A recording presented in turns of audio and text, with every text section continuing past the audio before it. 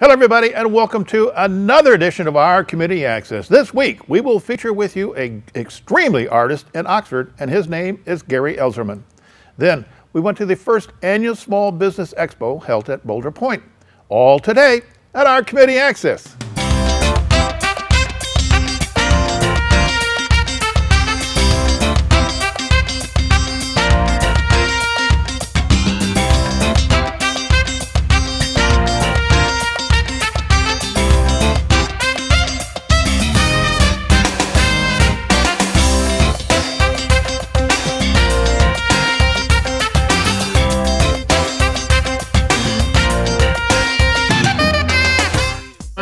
For Friday night fish at the Oxford American Legion Hall. It's delicious.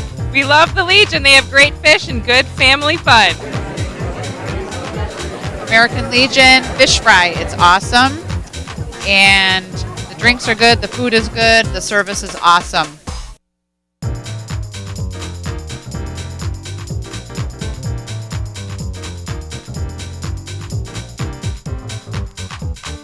Welcome back.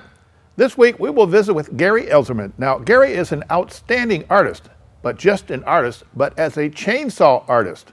With the story, it's our reporter, Teri Stiles. Teri?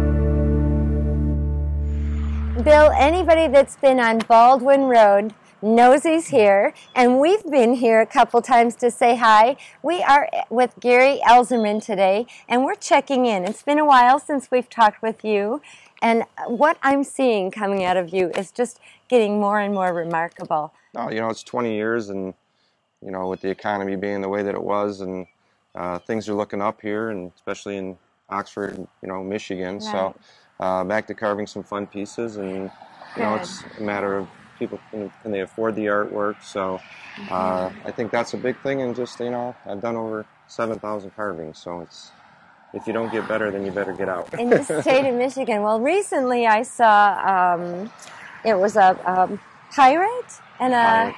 octopus. What was that all about, Gary? Um, that was just, a, believe it or not, a, one of my big collectors uh, bought a place on Harsens Island and uh, wanted a octopus protecting a treasure chest, and actually had a Red Wing logo on it, the lock, and then the pirate had a Detroit Tigers patch on it. He's a big fan of the sports teams, and so uh, very unique and uh, very large. The octopus was actually 15 feet sprawling, uh, and the pirate was, you know, over life size. So.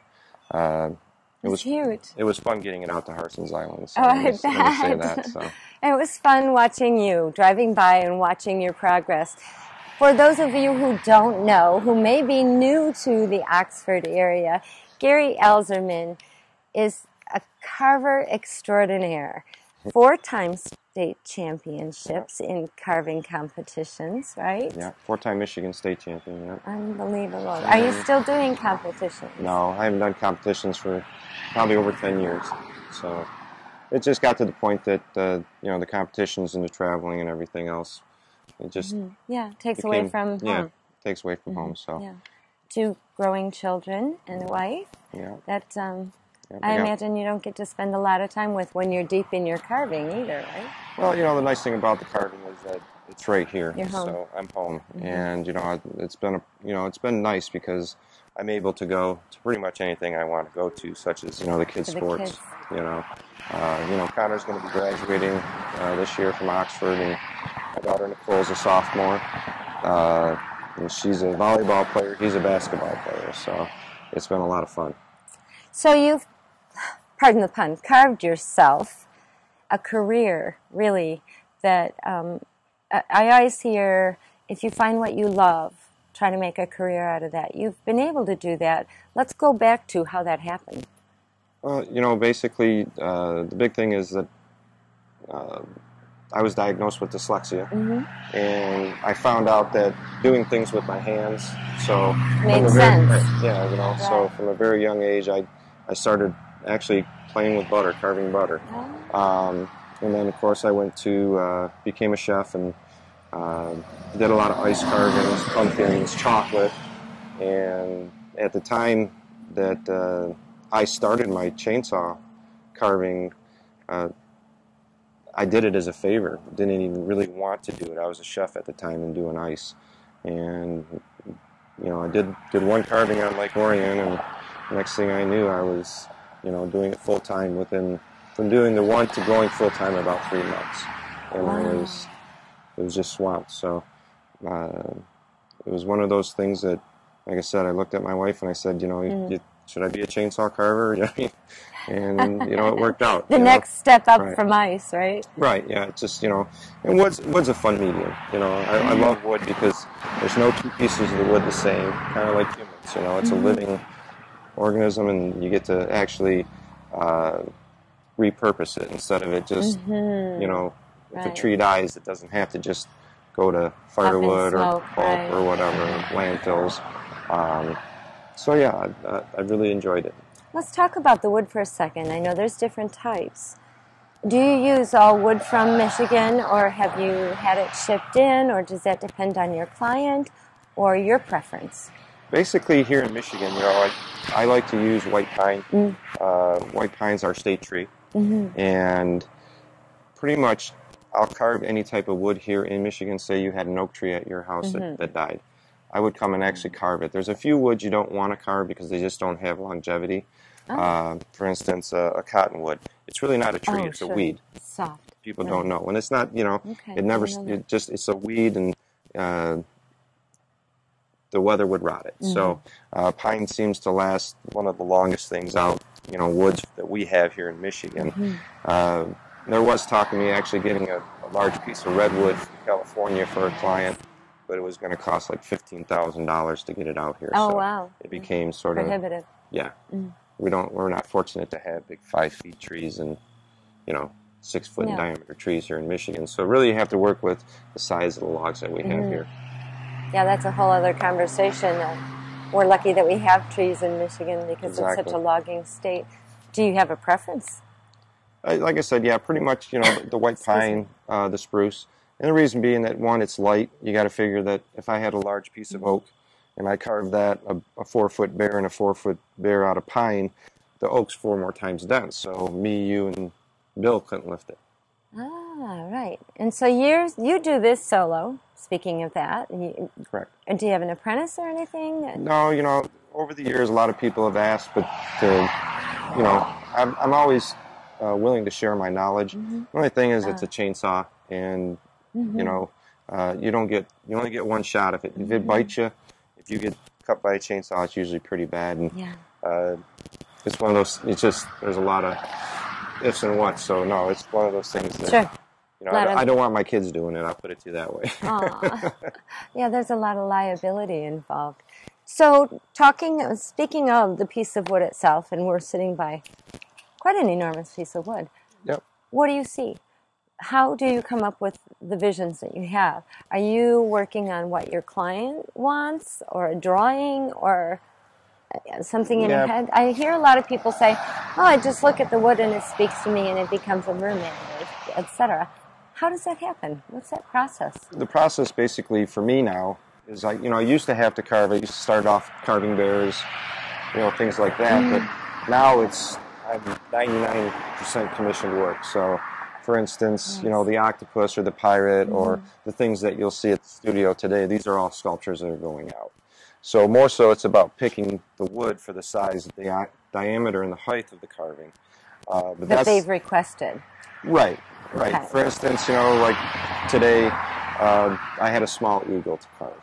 Okay, just a perched eagle that a lady's going to put on a tree. Mm-hmm. Where now I've got a big howling wolf with the moon scenery uh, for a guy that I'm matching his tattoo. So, Oh, you know, the neat thing about the progression of work has been uh, you're not limited to coming to me and going, oh, you know, a bear, you know, like Yeah, you would see up yeah. north. I, nothing wrong with that. But, you know, now it's things like uh, I just finished a, a beautiful uh, carving of four different birds in a tree, and each one of the birds has a personality like their children. So each one represents one of their children. So that's that's the neat thing about where my artwork's Your gone is that there's there's nothing that I won't sculpt. Okay, that So- was my next question. Is anything to I've done likenesses of people, um, all the way down to the whole Winnie Pooh collection. Really, I've seen that. Right, so- yeah. I mean, I, I do get some pretty different uh, calls. I just carved a couple likeness of horse heads that were grave markers. So, Oh, lovely. so like I said, Yeah. it's just uh, whatever you can think of, I can pretty much carve. So, And your talent is tapping into that emotion well, yeah, of because what right, they need, what they need from exactly, you. because it's just not a bear. Yeah. You know, you'll get people that stop by and uh, are looking for a gift that you know Mm, for mhm. somebody, but generally the people that get my artwork today are are looking for something that obviously they can't get at Walmart or Sure. any other place. And uh, a great one that I just finished up, which the community should be so excited about, is we have the big Lake Orion Oxford football game coming up Friday. And so they approached me and they wanted a, a trophy that would go back and forth. Oh, nice. So Mm-hmm. on one side I've got a Lake Orion, one side I've got an O and a football. So whoever wins, they just put this, that side out. Perfect. So it just now, did you design that, or is that? I designed it Oh, right. I so yeah, so, something like that. It just kind of comes to me. You know, like I said, it, that's the fun process. And you can't really draw anything like that because a lot of times things change. I give people a, an idea. They say, "Give me a wolf," or "Give me this," um, and then I say, "You got to give me some freedom because the wood might tell me to do You something bet. different." And do you have a favorite out of it? I know you you said seven thousand people in the state of Michigan have your carvings. Do you have a favorite? Well, the, octopus was pretty cool. That was pretty I darn probably- good. I, I probably had a thousand people. Uh, Oh my stop goodness, and take in pictures. Well, you know, people have a real emotion to, to bigger Mm-hmm. carvings. You know, uh, some of my favorites are always the inspirational story where I carved Mm-hmm. I carved uh, four wolves coming out of flames. Uh, it looked like the, the flames were busting these small wolves, and then there was a big wolf come busting out, and it was a story of a lady that had lost four children, and Oh then they had a child, and that child rising out of the flames was their Their their, child, right? So it's very emotional. Those, those are emotional carvings when you carve things like that, or I say, you know, things that really bring something to people's heart. So Mm-hmm. Right. Or inspire. And you do. I, I, I have been fortunate enough to watch you go from across the road Yep. to over here and seen many and many, many of your carvings. And I guess I should thank you for everybody in Michigan, at least, that has your carvings. What next? What's too big for you? What What's your next goal? What do you want to? What is your ultimate if if you had a month to do it in? What would you do? Uh, you know, pretty much, like I said, once again, it's not even so much a goal. You know, the thing is, is that I've been doing this 20 years. I'm mm-hmm. getting older, mm-hmm. unfortunately. Um, you know, the body starts to, It's a tough job. right, you know, yeah. not fun lifting a saw for 8 mm-hmm. hours. But the bottom line is, is that I'd rather do nicer pieces than just the, the, you know, the everyday just grind. So Souvenir pieces. Right. Right. Yeah. So I'd rather carve something that means something to somebody. Uh, but you know, every day is a new, new, a new challenge. You know, I mean, I've got a wonderful eagle that I just finished up for uh, Detroit Country Day uh, Middle School, and it was just kind of a funny thing because I put it out at the road, and just so people could view it. That's you know, a lot of times the pieces out there are just so people can see different mm-hmm. things, and they they go to the where they need to go, but all of a sudden with September, I didn't even think about it because it was near September 11th, and it was like an Oh, good onslaught. timing so, for that, yeah. well, yeah, and then all of a sudden, next thing I knew, I got four more commissioned eagles. So, so it kind of goes that way. So now I got to carve four more eagles, and that's when it kind of becomes the grind. You know, it's not uh, Yes. the people see something, but they love it, Right. but then it's like, well, that's what I want. So. But I have a feeling you have a need to um, satisfy what the people need from you. I think I think you can say that you you want to slow down a bit, but um, I think emotionally or in your heart, you're not going to be able to do that for a while. And I'm grateful for that because I like seeing you around here. I love Yep. driving by, and um, I want to wish you continued success. And thank you for joining us on our Community Access Oxford Television. Well, I really Mm-hmm. appreciate what you guys do and help with the community and actually uh, cover all the events and you guys do a great job also. Thank So, you. We're working together, all of us There in we the go. same community. Bill, I'm going to look around at Gary's carvings, and um, I might not make it back today. Good job, Teri. Also, this story is going to see on Michigan Magazine all throughout the state of Michigan. How about that? Next up is the first annual Small Business Expo held at Boulder Point. With the story is our reporter, Andy Curtis. Andy?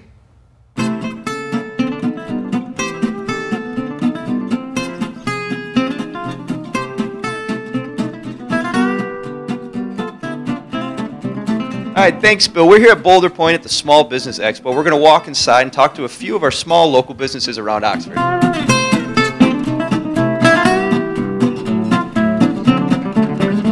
First we're stopping by the Nerium International booth, talking with uh, Robin, who is one of the business partners for this company. Brand partner. Brand partner from the company. Do you mind telling us a little bit about now? Nerium International is a uh, anti-aging cream, uh, if I if I'm understanding it right. Yep. Anti-aging skincare company. Um, they were developed by um, a company doing cancer research and ended up seeing great results with skin, with the tightening and firming and getting rid of fine lines and wrinkles. And so I tried it as a customer Okay. and loved it, you know. and So I decided to get into the business and share it with other people.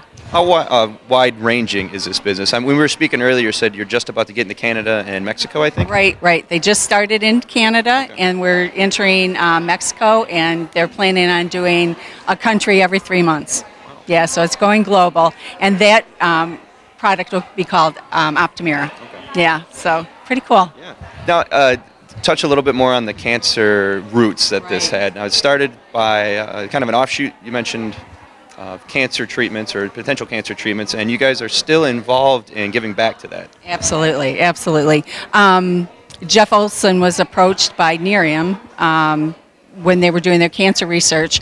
For skin cancer, they noticed that they were getting great results with um, doing healing for the skin. And so they approached him to do a skincare company from it. So we also give back to um, cancer research. Uh, pro- profits go to that and also to Big Brothers Big Sisters. great. Yeah. That's- and that's real great. he participates with um, Live Happy, the magazine, and is promoting happiness around the world just because we all need that. Yeah, you're telling me.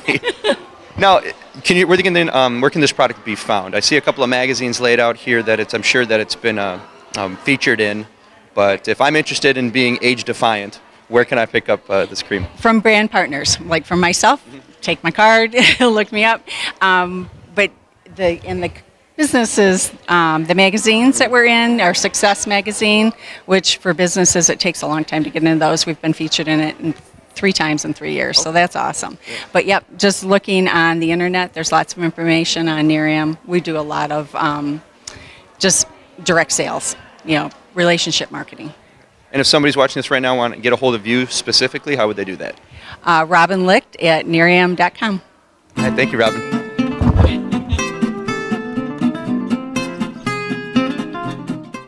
Now we're here with Dana, who is an independent consultant for Scentsy Products. Dana, thanks for talking to us. Thank you very much. Do you mind telling us about, uh, to me, to the untrained eye, these look like electric candles. Now, how far off am I? You're pretty far off. They're actually wickless warmers. Okay. Um, all the wax is melted with the help of a light bulb. Mm-hmm. You do plug them in either with a cord or the ones that are smaller you could plug in just directly to the wall. Oh, okay. So the wax melts at the top and there is no flame, so it's very safe. I've actually spilled them a few times and you don't get burned. Yeah, no, that's a huge issue. I know I was, because candles are a pretty cost effective way to get rid of stink in your house, which I have to do a lot. But, you know, uh, I will admit that I have lit newspapers on fire accidentally while being around one. So this is not an issue, which is great. Right, absolutely. And you know, it's it's safe. Um, there's lots of other products other than just the warmers. Okay. You can actually buy bath and body products. Um, love their lotions. They have hand creams. They have things for laundry as well. So there's there's also scented tins that I have on my table here for sale. And you can open them up just a little bit and it will fill the room with a scent. So if you travel, you go to a hotel, even in your car, you could have a travel tin with you. Um, they have stuffed animals that you could put a little sachet inside. You could also put that inside a drawer. And so there's endless possibilities with Scentsy. That's great. I, that's, I love the idea of it's kind of like a souped up air freshener for your car because I know when I buy air fresheners, just a traditional kind, they last maybe a week, and then it's back to having the windows rolled down all the time. Yeah, no, these last forever. I've had tins that last up to six months, and you can open them, close them. Um, we also have the scent circles for your car as well, so it looks like the traditional air freshener, Right. but they last forever. Um, the bars, I have a little graphic here. The bars are definitely worth it once you purchase the warmer, which you can also purchase in package deals. Okay, great. If you, it's called Combine and Save, and it's on my website, which I'll mention later on. But you can see that you know, 12 bars give you 840 hours for about $80 versus a regular candle that would be $300. And I've actually had bars where I just put one little cube inside. They last for months, and you just you can turn it off, turn it back on, reuse them as long as you want to, and you can actually combine scents too. Um, a lot of people buy two different bars, and you put a block from each bar inside, and it'll melt, Wow. and it'll create its own unique scent. Yeah. So I have um, scent recipes too. That's actually pretty cool. This sounds like a real cost-effective and actually safe alternative to candles. absolutely, absolutely. Do you want to throw out? You mentioned your website, phone number. How can people reach you if they want to buy one of these? Okay, my phone number is 586 484 1496, mm-hmm. and I have a website through Scentsy. It's https or HT, https colon backslash ddaw.scentsy.us. But I think if you just do the ddaw, D-A-W, dot scentsy.us, you'll be able to find me. I think that's a safe bet. yeah. All right. Well, thanks for talking with us today. Thank you. All right, we're here with Jim from Odd Job Disposal, located in Oxford. Jim, thanks for talking with us. Uh, hi, nice to see you guys.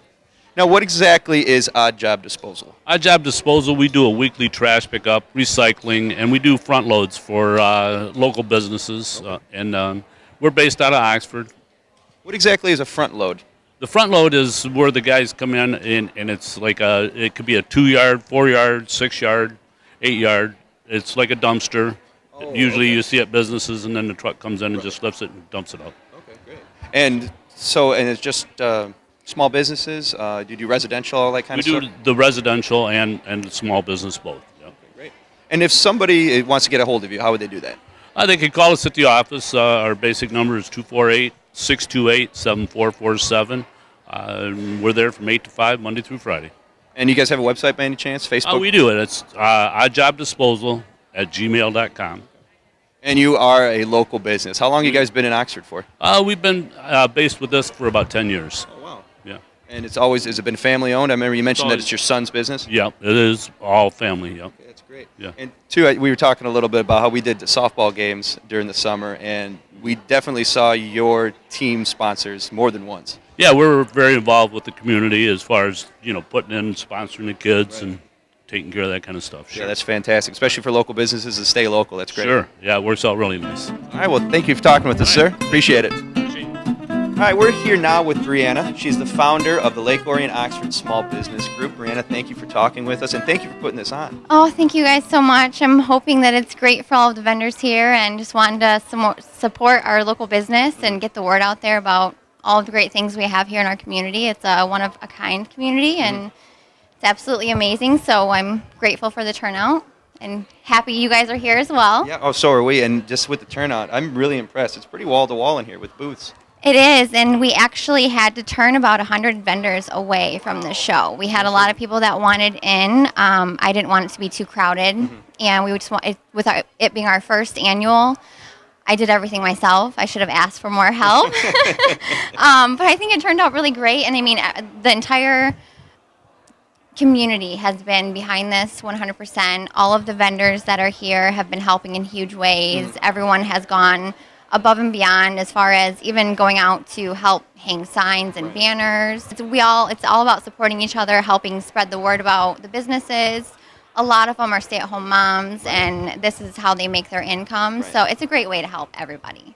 Now, you were saying about how this, they're all members of the Oxford Lake Orion Small Business Group. Uh, Yes. How does someone get involved in that? What are the benefits of being in the group? Uh, you know, general things like that. Right. Um, it's uh, right now it's um, a Facebook group. Okay. So it's under Facebook, and you would just search for the Oxford Lake Orion Small Business page. Mm-hmm. Um, you do have to request to be on it. It's not an open page. It's Right. a closed group.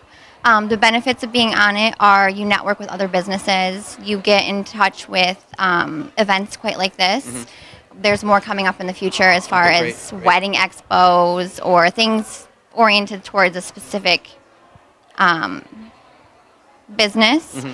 Um, but like I said, you network with so many businesses. People people throw your name out there for each other. You can look for a business that you're looking for, and everybody will send you quotes immediately. I mean, it's just really really nice because it's basically like having a yellow page, but you talk to the person right then and there. So, and it's absolutely amazing. Everybody is so kind. It, so you just kind of get the word out there and you help each other. It's a great, great, great, great site and, and group. And how again can somebody get uh, involved in this if they're a small business here in Oxford? You would just go to the Facebook page and just um, click to request, and I would approve it.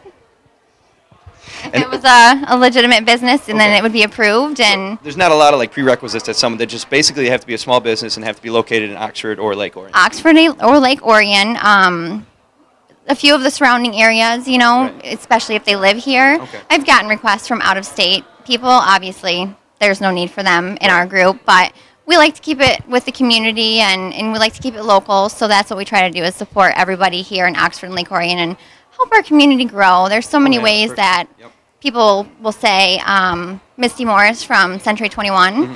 she is very involved in the schools. So she'll constantly say things like, Would you like to donate? Would each business like to donate something for um, Lake Orion schools Mm-hmm. or Oxford schools? And everybody jumps in. Oh, I can do this. I'll do this. So it's just, we try to help the entire community as a whole. That's, that's fantastic, and especially small businesses. And not to say they need all the help they can get, but I mean networking is so important. It is, and and I'm blessed with the people that I have on the group. All of these amazing people that are here today. They are just the most amazing, kind-hearted business owners who look out for each other. And I couldn't have asked for a better turnout for something that I thought would probably just never go anywhere. So it's it's nice. It's great. That's oh, and we appreciate you putting it on as being a you know, residents of Oxford like we are ourselves. It's it's great. Thank you. Well, and you know, it, is there any other way uh, people can reach you? Phone number, reach you, or, or reach the uh, the group besides the Facebook page? Is there phone number, website, any other events coming up here in the future? Um, I don't have a website up yet. I have my personal website, which is www.brianna-danielle.com. Okay. And I will post upcoming events on there as well. Um, right now, it's just the Facebook page that we have going, but I plan to do more in the future with how big it's getting. Oh, yeah, yeah. So I'm I'm getting there. It's slowly growing. Like I said, it hasn't even been a year yet. So, and this is actually our first annual Mm-hmm. small business show. So it's going to be a yearly thing. And are there uh, is there a place people can go to see? uh, The Facebook page is open for everybody to view because no, we just didn't have time to interview everybody here that uh, that came out to promote their small business. So if somebody's Right. watching this and they want to see some of the people involved in this group, they can go to the Facebook page, right? They can actually go to my page. I'll be posting pictures of Okay, the event on there. The Facebook page, I keep it closed because I don't want negativity. Okay, perfect. Um, that's how we kind of screen people. And some of the businesses, if they're offering a deal, you don't want a competitor to try to swoop up from underneath you. So that's why I said we look out for each other. Mm-hmm. Um, but if they request to join, I mean, they'll be on there. They'll be part of the networking, part of the group. It's amazing. That's, it sounds perfect for a small business in an area like Oxford. And thank you for doing it, and thank, you for having us here today. Thank you guys so much. I'm so glad that you came. Thank you. All right, so from the Small Business Expo here at Boulder Point in Oxford, I'm Andy Curtis, and back to you, Bill. That was a great first Small Business Expo. Well, that's all the time for this week. We hope you enjoyed our program. So, for our reporters and Andy Curtis and reporter and editor Teri Stiles, I am Bill Service, and do not miss My Life with John Ogen, and it is next on our community television.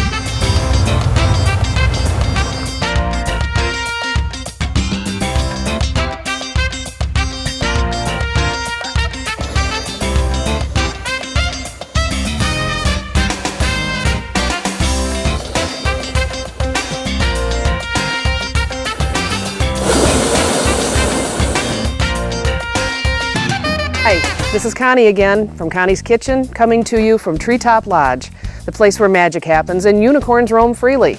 Of course, you have to come to the lodge to understand about the unicorn thing, but they're everywhere. We'll be doing a wide variety of cooking shows here on Oxford Community Television, and I personally would like to thank the crew for coming out and giving me this opportunity to share my passion and what I love to do with you from Connie's Kitchen. So please join us on OCTV Join us at the lodge and look for us all over the town. And if you see unicorns, they probably came from here. See you soon.